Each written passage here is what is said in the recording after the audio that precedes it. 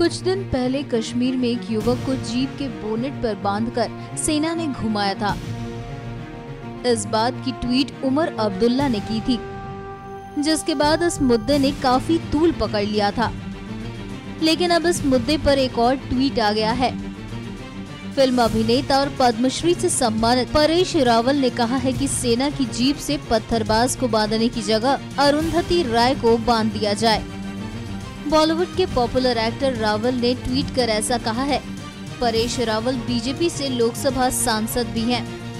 अरुंधति राय प्रसिद्ध लेखिका हैं और कश्मीर पर अपनी अलग राय रखने के लिए जानी जाती हैं। इस ट्वीट के बाद कई लोगों ने ट्विटर पर इसका विरोध भी किया और अपनी निजी राय भी रखी कुछ मीडिया रिपोर्ट्स के मुताबिक हाल ही में अरुंधति राय ने कहा था भारत कश्मीर में अगर 7 से 70 लाख सैनिक भी तैनात कर दे, तब भी कश्मीर में अपना लक्ष्य नहीं पा सकता। आपको बता दें कि पिछले दिनों जम्मू कश्मीर में आर्मी की जीप से एक शख्स को बांधकर घुमाने का मामला सामने आया था। तमाम संगठनों ने इसे मानवाधिकारों का हनन बताया था। प्रशासन ने इसकी जाँच के आदेश भी दिए थे।